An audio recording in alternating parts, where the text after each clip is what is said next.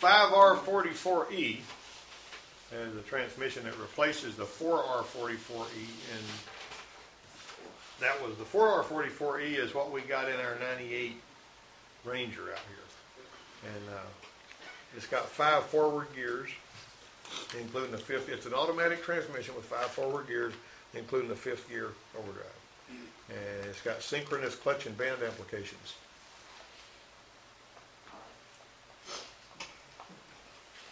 Synchronous clutch and band applications. And I mean, you know, synchronous means that it basically times them against each other, uh, which is pretty handy. Uh, and, and there, so we're basically talking about, uh, you know, this particular transmission today. Uh, all right, now I want to show you guys on the, I want to show you guys on this thing what we're going to be looking at. These charts right here are something you need to understand how to look at, and that's the reason I'm showing you that. Um, because you're going to be able to use this kind of chart. They've got several of these type of charts on these transmissions because they just about got to have. And um, so, uh, but anyway, I want to try to get through this before that lady gets here with her transmission range sensor thing, you know. 'Cause, uh, she asked Uh, me, if she, she asked me if she was going to have to wait for it five hours, and I said, "Mm, well, maybe not, Maybe maybe not. Archie usually works pretty fast. That ain't gonna be You've fun. You've seen Archie work. Archie is a ball of fire. not. It only does take not- about thirty minutes, an hour, maybe. Yeah, okay, thirty minutes to an hour, maybe we're gonna get it done as quick as we can. All right, I'm gonna turn this around over here.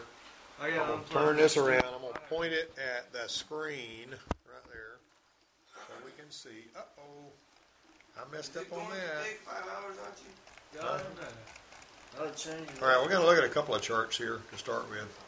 These are clutch and band applications for this thing, right? You see the clutch and band applications. Now, look at the way this kind of thing works. All right, now, look at what's, look at what is, uh, in park. See, they got all of this. All these parts right here.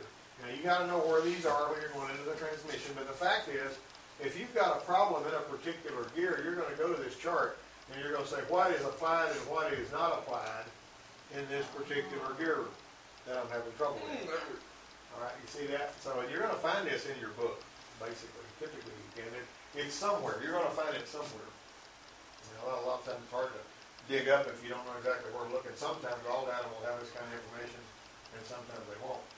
But you got park. What's over there? You got. You're not. You're not doing any of that. Right? TCI or what's that? You know, transmission control indicator light. Reverse. All right, look at this. Low reverse band is applied. Direct clutch is applied. The front one-way clutch is holding. What does that mean? The one-way clutch is gonna be only turning one way. So the prevailing influence is to try to turn it against its lock. So if it's actually going the other way, you know, it's referred to as overrunning. See where I'm going with that? Okay, so that's basically in neutral, you're just like park. Yeah, obviously. And except the park pawl is not locked in. In first, forward clutch is applied. The front one-way clutch is holding. The coast clutch is overrunning. The rear one-way clutch is holding. And the coast clutch, see that, you got that. All right, then you got your engine braking. It is, does not have engine braking. What does that mean? When you let off the gas, the transmission is holding so that it will slow you down. Right. That's what engine braking is all about. Uh, the transmission control indicator light is off, all right? First, A. All right, now there is, uh, whenever, what A is basically when you've got your button pushed to turn off your, Overdrive? yeah. So that's, that's when it's got, when it's got that on. And so it's telling you slightly different in some of these gears whenever you've got that transmission control. What's the hand mean, Mr. Rich? Huh? What's the hand mean? That hand is basically the mouse. Yeah, I could actually be using the hand instead of my laser. Okay. Yeah, That's a pretty good question. Second gear, look at that. Front overdrive band is applied. Forward clutch is applied. Front one-way clutch is overrunning. Now, if the front one-way clutch is supposed to be overrunning and it's locked up, then wouldn't that cause you some issues? Yeah. All right, so what would happen here, let me ask you this, what would happen here if this clutch would not hold either way? You wouldn't go in first gear? All right, think about it. Now, how does that, now, what if you're looking along here and you're noticing that in second, let's see, second A, third, fifth, wow, you're gonna have something that's kind of fouled up. You're gonna make a noise, there's gonna be in a different gear than it's applied for, and all that. We're going down here, third, intermediate band is applied, forward clutch is applied, front one-way clutch is holding. See how important this chart is for you to understand it? Nobody has all this stuff memorized that I've ever known. You don't have it all? No, I do not. I'm not gonna try to memorize this stuff, because I'm gonna forget something crucial and I'm gonna get myself in trouble. You're better off to have it on paper, uh, or in, or in your laptop in your toolbox, you know. Lamont's got a big old laptop standing up on top of his yellow toolbox, and he's got a laptop that's right there hooked to the wireless network in the shop. That's where he gets his shop manual information from Neon, right there in his toolbox. Uh, Changing the world, we have a wall full of books now, we're, we're- but anyway, so look at all this right here. I tell you what happens when you, when you, when you think you know, this is one of the things where I got so comfortable putting spark plug wires on GM cars, you know, the Chevrolets and the Dodge and the one eight four three six five seven two, hey, I can do this, you know. Pop, pop, yeah. pop, pop, pop. Put those things, route them right, make them look real pretty and all that kind of stuff. One day, somebody threw me a Cadillac. So I do the same thing. Hey, that's the GM V8, you know, da, da, da, da, like, eh, hoo, hoo, hoo, bam, popping out the back. And I said, well, maybe the ones going through the motor mount, some of the plug wire used to run through the motor mount, believe it or not. Run through, maybe the one, maybe I crossed them when I put them through the motor mount, so I put, swap these two around. Hoo, hoo, bam, fire coming out the back and out the carburetor. And the old guy that ran the shop says, look that up and find out what a fire order you're leaving, it all fouled up. I thought, I thought I knew how to wire up a Chevrolet or a V- GM, you know, because all of them got the same fire order as a V8 did in those days. That was, Except the Cadillac, it's all screwed up. It's got a fire order like I ain't never seen. And so if you think you know, you can get yourself in trouble. this is when you was young though, wasn't it? Uh, well, yeah, I was about nineteen or something like that. That tells, that tells when you didn't get it right. I got, I got body slams on that one. But anyway, That tells see how this is, do you understand, do you understand how this is, how this is important? Now, you remember on the, on the Crown Victoria, they wouldn't do anything but back up? Yeah. It would be interesting to look at the chart on that.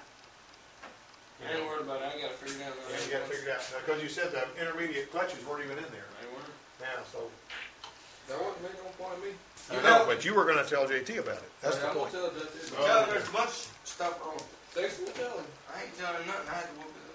NE stands for no effect, all right? get some money. All right, now that's the clutch and band applications for that. Now let me go down here, look at this right here. Solenoid operation, look at your solenoid operation. This is important too. Now, this is, there's your gears, look at that, see, this doesn't look quite as complicated, but you're still gonna use this information when you're trying to troubleshoot one that's not working right. Okay, so, look at your park and neutral, shift solenoid A, B, C, and D, look at all of them. And then you got engine braking. You have any engine braking in anything except forward drive, right? As It would have told you on the other chart too. Well, actually, on first and second, you did too, but going down to this point. Now, look at this. Look at how these are, on, off, off, off, okay? Reverse, on, off, off, off. Isn't that interesting? Sure. Wow, okay? Look at drive, one, on, off, off, off. Well, ain't that cool? But, when you get down here, to overdrive, on, off, on, off. Now, you remember what I was telling you the other day? I said, it seems to me like, when I was first thinking about electronic transmissions that had these shift solenoids, I figure this one would be on in first, that one would be on second. That's not the way it is. They're all over the place.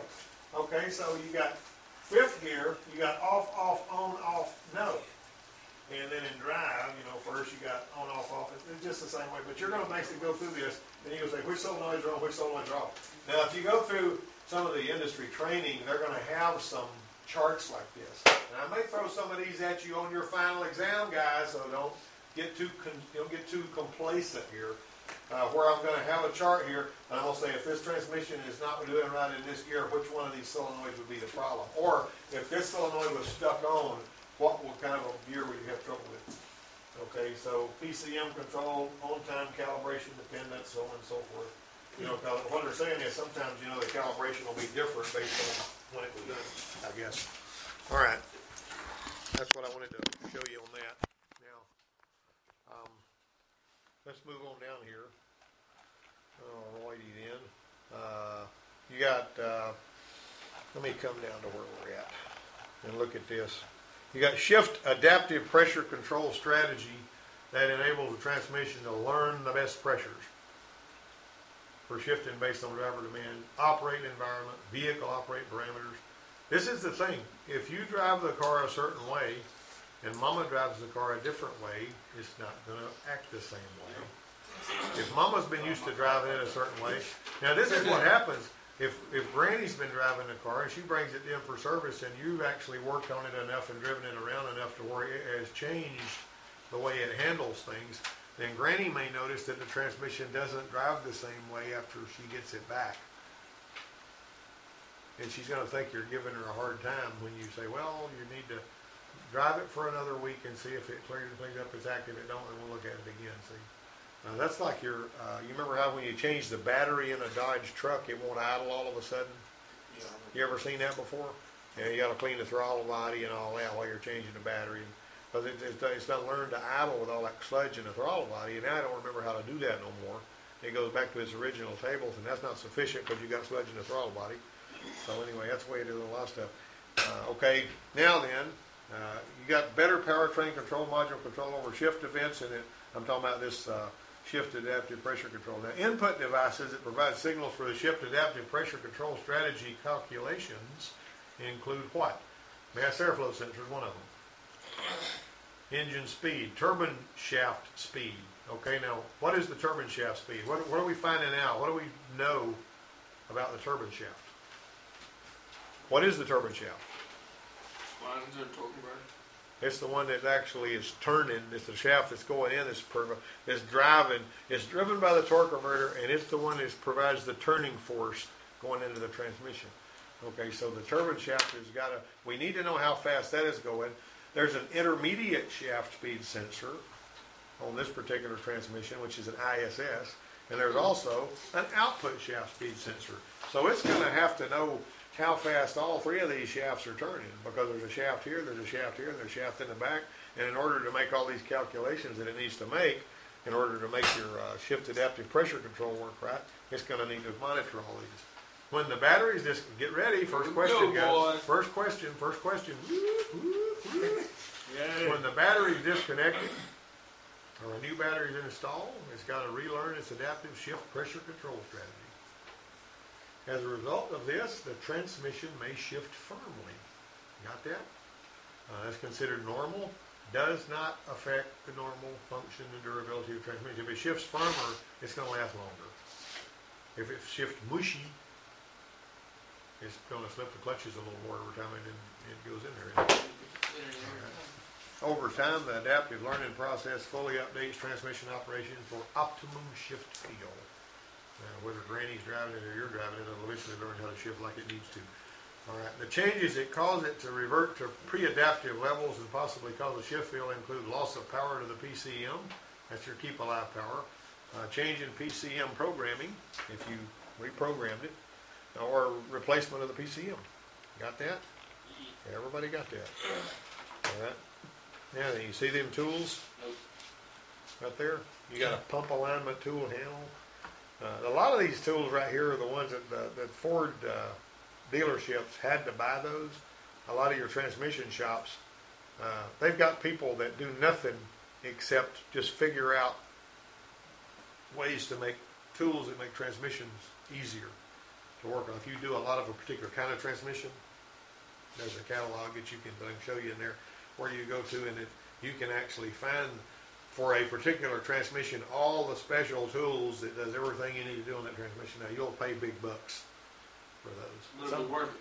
Oh, it, it depends. Some of them are worth it. The ones that the, the transmission mechanics really like will have a thumbs up symbol next to them because it really helps you out. Some of them you can get by without. Some of them you will not build a transmission without. You just flat won't do it. There's an align, a lineup shaft that I've got over here for the overdrive units on these uh, A500, A518 transmissions. You will not do that overdrive unit without that shaft. It just, you just will not. do it. You will never be able to line it up. Because when you put it all together, those splines are slightly out of line. This thing right here is a shaft with splines on it. It lines them up. It's a hundred and something dollars for that shaft I paid for it, but that's what it's for. Because I got some of the transmissions on it. Yep. But, all right. Uh, so you got these right here. So we're gonna go on down to the next one. Uh, recommended fluid change interval. Look for that when we're going through this thing right here. And uh, that is a picture of it. Isn't that pretty? Nope. Yeah. That's a nice Now, picture. what is this? What is this right here? Uh, That's for the gears. Transmission range sensor. What is that right there? Anybody see it? What is it? I can't see it. I mean, it looks like a, some kind of sensor, I know that. Turbine speed, intermediate shaft, and on the back of the transmission, somewhere back there, they're gonna have the output shaft speed sensor. All right. All right. Five forward gears. Came in a Oh, 2001 Lincoln LS. We can go and throw that thing in the garbage. Yeah, it's not bad. No, they suck, them cars are ragged. Oh, wait a minute, I'm seeing some fluid stuff we're talking about here, so pay attention for your second question. All right, so you got a, this thing right here, um, by the way, um, you're supposed to check the fluid, even in the transmissions that have this stand pipe in the pan, uh, you're supposed to change that fluid, I mean, check the fluid with the engine running, just like you are with the one with the dipstick. Uh, now, on this one here, uh, you know, like on the, on the Explorers and stuff, you, you shove it up through the bottom of the pin. But on this one here, there's a plug in the back of the transmission. You take it out and you pump it in there. Pumping fluid in?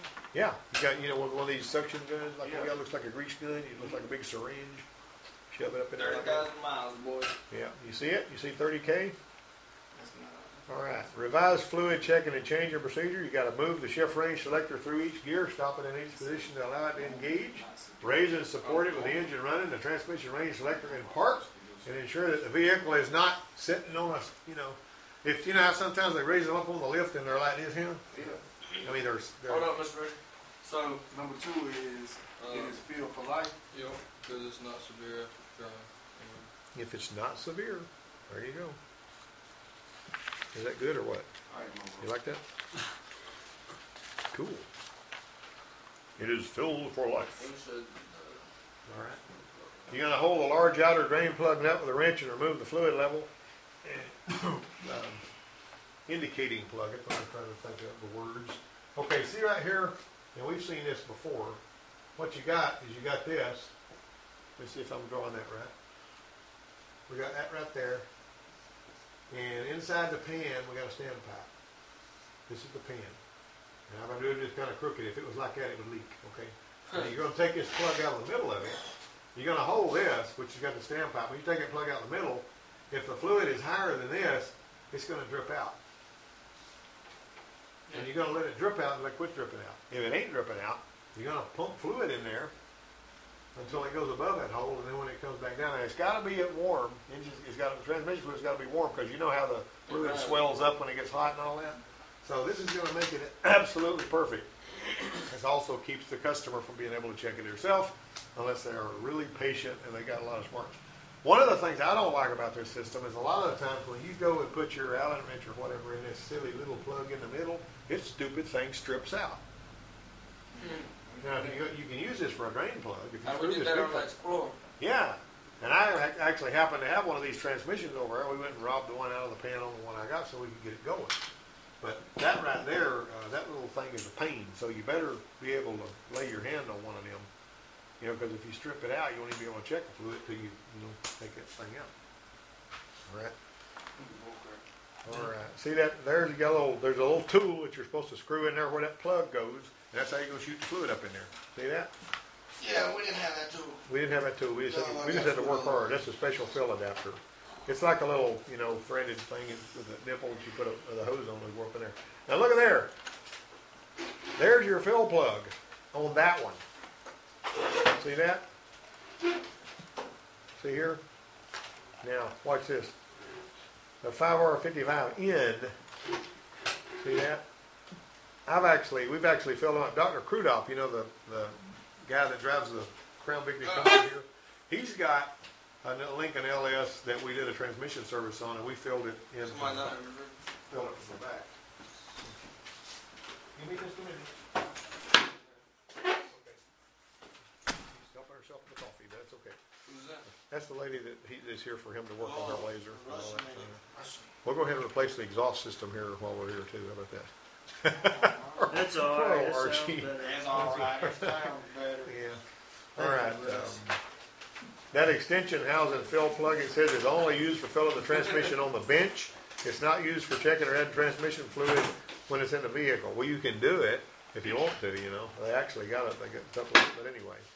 Uh, there you got, uh, redesigned forward clutch piston. Let's see what his next question is. Look at that. When should the bench plug, fill plug on the five R fifty-five N transmission be used? What did it say? Only when it's on the bench. That's why they call it a bench, right? So that's what you, of course, like I say, I've, I've known of that being done when it's in the car too.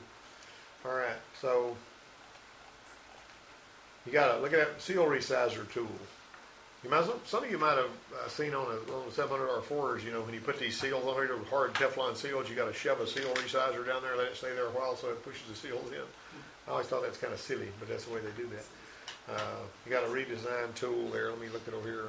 Um, on which transmission and under what circumstances would you use the go no go gauge? Does anybody know what a go no go gauge is? Either you go or you don't go. Now we used a go no go feeler gauge on the Volkswagen Rabbits when we were setting the setting the valves when I was at the dealership, and it's a it's a gauge that's actually thinner and then it gets thicker. So it starts with a thinner. The, the, it's a feeler gauge. It's thinner and then it gets thicker. So when you shove it in there, um, you're gonna you want it the, the thin one to go, but you want it to stop when it hits the. So you're actually setting it so that the clearance is between the thickness of the thin and the thickness of the thick. See what I'm saying? It'll be like like, like a 2040 or a 1030 or a 1020. So you want it to be between 20 and 20, 10 and 20 thousandths. So when you shove that gauge in there, you want that one to go through, but you want it to stop. Oh, yeah, okay. That's the go no go. I You got it. what It's a you're ga- it's a feeler gauge. I It's got one of those. I- Yeah. I know exactly what you're talking about. yes, that's, that's a go no go and all that. You gotta use them All right. Now this is a 4R70W. That's a four speed, which was what you're doing. 4R70W is what you're working on right Is it now. for real? Yep. That's a 4R70W. Output shaft speed sensor, which you remember when you were putting Almost broke it. when you were putting the output shaft in. Why won't this go down? Well, he was bumping against the Almost broke it. output shaft sensor down there, almost sheared it right off. Yeah, Uh, all right, there's normal resistance readings for it. Uh, it increased from 334 to 759. Uh, on you know, it was actually a, a thousand ohms now. It was 334 to 759. On the newer ones, it's a thousand. That was in 01. So yours is going to read what on the 98 model you're working on? Come on now. It, it was 334 to 759. That'd been a good little question to bury in there for you, wouldn't it? Got a new seal and ring. Oh, look at here. Because the transmission filter is so efficient, the rear lube filter that was on earlier 4R70W transmission has been removed for 2001. Hmm. All right, so, all right, there's your accumulator retainer on that. All right, let's find our go, no-go gauge. Where do we find that I at? had to put that in there yesterday. Huh? What? Yeah, Yeah, yeah, it ain't better. you- you remember that, don't you? Yeah, you had it in backwards. You tried to, I he was trying, to mess it up too. he said, I was trying to figure out how to get this in here because I couldn't push this far enough. Man, he had them springs squeezed so hard with that C-clamp. I'm telling you, I told him, man, why you gonna use the seat? I wasn't even using it. Yeah. You can push it down there with your thumb. But he made it, he made it I, I happen. still got it in there backwards. Go back up. Go back up. Go back up. It's in there wrong. What? Still is. How do you figure? Because there's uh, both my springs on top. Huh? Huh? That's because of the he's talking about transmission. You're looking at the transmission, you had it upside down. Look, there's my two springs are on top. You put both the springs on top? That's how they work. The Well, there is two springs on top, but there's also one underneath it. Well, there ain't one underneath it. Well, you better find that one, mister. What's- That's all I got to say. two, three, or three, four? All right then. Well, that's pretty good there. Well, actually, double nested bottom spring on one two accumulator. Well, there's not a bottom one. There never was. Well, now that's a 98 model. You may want to make sure. Did you look in your uh, your uh, book where we had it? Okay, there's your main control valve body. Two, three accumulator reinforcement plates been removed. See how that you were, see where it was? No, see where it was? this. Can't Huh? at this right now. Yeah, you're tired of it, aren't you? No, way, it's gonna confuse me. All right. Okay. No, 'cause it's Now, tw- two, thou- look at that. Transmissions for car applications that don't require a unique main control valve body for early car plate bill, see? Uh, The valve body is uh, going to be different. Did you know on the uh, 700R4, when we were doing one of those, I found out there was 18 different valve bodies for 700R4s. And that, and that's, um, the, the rest of the transmission is pretty much the same, but there there's 18 different valve bodies. configurations. So it's a Why? lot of, I don't have a clue. I didn't design the thing, but they just did. Different applications and stuff. Probably like could have, but could. Yeah, call please. All right, the, uh, here we go, redesign, ca- redesign casting area. We're looking for a go, no-go thing, aren't we? We got electronic pressure control solenoids there. Uh, This is four R seventy W stuff. This is a good little handout right here for you, isn't it? There's your hydraulic pressure taps right there. See your hydraulic pressure taps where they are? Wow. Now look at those. You got direct clutch, you got forward clutch pressure tap. You can actually check just the, on that one, you can just check the different ones. Then you got electronic pressure control pressure tap, It's different though. Mine's different. Intermediate pressure tap, line pressure tap. There's five different pressure taps on that transmission that you can that use. one there's not. Yep. So, uh, and then there's your solenoid connector gauge too. Is this a go no go gauge here that we're talking about? Oh wow! Look here. New transmission solenoid connector gauge is a go no go. Uh, it's used to determine if the solenoid connectors on the lead frame have opened. So what transmission is this? That's for 4R70W. 4R. If you don't have a go no go, you're in trouble. Well, we gotta have one. Nope, can't have one. You got to do without it. If it don't work, you got to pull it back out. All right, it comes as a part of What the. Two, circumstances would you use? Hold on now. that comes as a part of the 2006 official service toolkit for. The for- used are ninety-eight. Look at it. Yeah, T-kit I gotta have 2000R dash FLM. I gotta have one. I gotta see how much that costs. Don't They're you figure- You just got, that's for pin fit.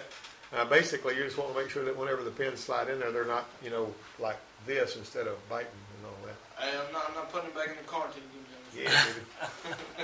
You can, you can check it when it's in the car. All right, then you got these seal installers.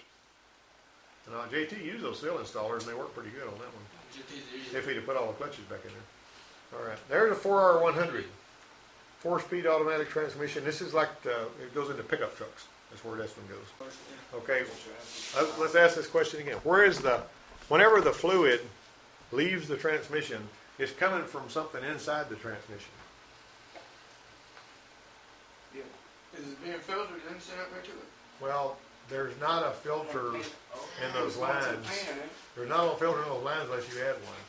It's going back into the pan, I got it. but it's coming out of the converter.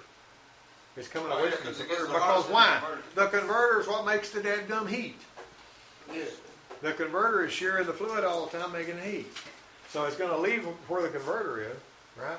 It's going to go to the cooler. It's going to come back through. Now, if the converter, if there's any metal being shelled off the inside of the converter or whatever, and has been, it's going to go in there and it's going to some of that metal and stuff's going to go in and get in there, buried in the transmission cooler. So what we do is, and they got, you know, this is a motorcraft thing. They got these transmission filters, a black filter, looks kind of like a fuel filter. It's got a magnet on the inside of it and a filter. You're going to take the line that comes from the radiator going back to the transmission, put that filter in there. So anything that's coming out of that cooler is going to come and get caught in that filter before it goes back and you get metal in your I don't know, transmission. is that for high performance transmissions or just? No, that's for the ones that you're trying to keep from having trouble with. Why don't, why don't they do that from the factory? Well, because they don't expect the transmission to have any trouble. They don't build it to make you have trouble. See what I mean? But, But, uh, I will tell you this, guys, if you've got a torque converter that's wiped out and all of the, you know, splines are stripped out of it, and you, you take your turbine shaft and stick it down in the torque converter and try to turn it, it ought to bite good and hard. But if it's all, you know, if it's wiped a bunch of metal out of there, and that metal goes and gets in the transmission cooler, and you say, hey, great, well, I've got a bad transmission here, I'm just going to, or maybe I'm putting a torque converter in or whatever. You put a new transmission in there, and all of that metal is still in the dead gum cooler, you got some serious issues there, buddy. It's going to go in there, and some of that's going to be fine enough to get past the filter, get in the valve body. The valves are going to stick, and you're going to have to clean the daggum valve body. So the smartest thing you can do at this particular point, and this is just me talking here, I'd sell them a doggone radiator Mm-hmm. or a Yeah. transmission, an external transmission cooler. If they don't want to buy a radiator, say, well, we're going to put you an external transmission cooler on there. We're going to take that thing loose from radiator, we're going to run it through the external transmission cooler, but we're going to flush the lines out too. Got it? So you want to blow them lines out and make sure there's not any metal or anything. When I'm blowing anything out, like if I'm, you know, flushing an air conditioning system or whatever, and uh, I like to know what came out of it. I like to be able to see what's it, what came, what I got out of that dead gum thing. But if you put, you, you know, you might be the best guy in the world at, you know, yanking, slam another transmission in there. Got it from the salvage yard, got it from the rebuilder, from whoever, Jasper. all that. But, uh, you know, a lot, if that transmission cooler is loaded with metal because you, sh- you know, shell some metal off gears or whatever in the old transmission. mm, So what they're doing here is they're having you put a filter in there so that any of the fluid coming back from the cooler is gonna give up its metal to the magnet and the filter. And this, this filter is not cheap. Oh, really? I mean, so if you buy one of these filters, the last time I bought one of these filters, if I'm not mistaken, it was like thirty bucks or something like Oh, that. ain't that. And, uh, They already work. Yeah, it's, it's, not cheap, it's not a cheap filter. Uh, okay, now let's move on here. Uh, say, which engine vehicle platform uses five R forty-four Es? You remember? That's number five.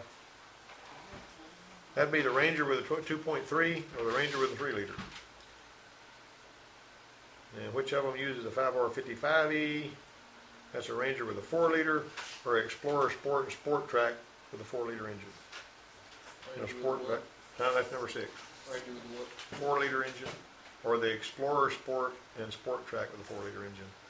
Um, Component changes in the five R forty-four E and five R fifty-five E, uh, include, you know, between the, from that to the older transmission would be, uh, new intermediate shaft sensor, remember that? ISS, additional speed information of shift adaptive pressure control strategy, that's the reason for that. New input shell that includes pickup wheel for the ISS sensor, and it's got to be used to service all 5R 44Es and 5R 55Es. So basically, uh, what, what I'm going to accept for an answer on that is your uh, intermediate shaft speed sensor and related parts. Just put that down there. It's easier to write and all that other stuff I said. Okay, number eight, number eight. On 5R44E and 5R55E, changes that cause shift adaptive pressure control strategy revert to pre-adaptive levels and cause a shift concern, field concern include loss of power to the PCM, remember that? Change of PCM programming, like if you reprogram the PCM, or replacement of the PCM. When you reprogram the PCM, you're juicing the, the EEPROM up with 18 volts. You erase the program that's in there, including all the adaptive tables, and then you start over with a new program. Okay, number nine, if a 5R55N transmission is out of the vehicle for service, what filling procedure should be performed before installing the transmission in the vehicle? You're gonna pre-fill the torque converter with a quart of Mercon.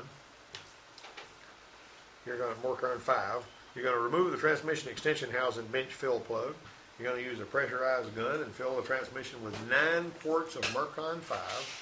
And after the transmission is installed, check and add additional fluid using previously described fluid level checking procedure. So you're gonna fill it on the bench with the one in the back, then you're gonna use the one, the, the plug in the bottom to, you know, get it done. That's gonna put the level exactly where it should be. So we to put all that down. Yep. Yes. Set it all down in a tear stained letter, okay. Um, Normal, nominal resistance readings for the new four R seventy W OSS sensor are, did anybody remember? Three, three thirty-four That's the old one. thousand ohm. That's it. West Crash Burn Road. Actually, it was thousand twenty-six to eleven ninety-four. Thousand. Thousand twenty-six to eleven ninety-four.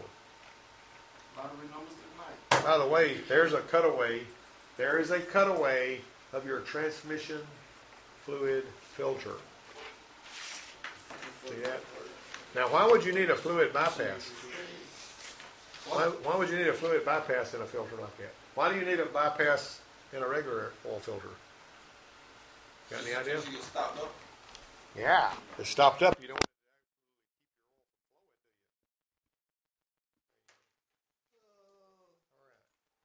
Everybody happy with that? Also, look at this.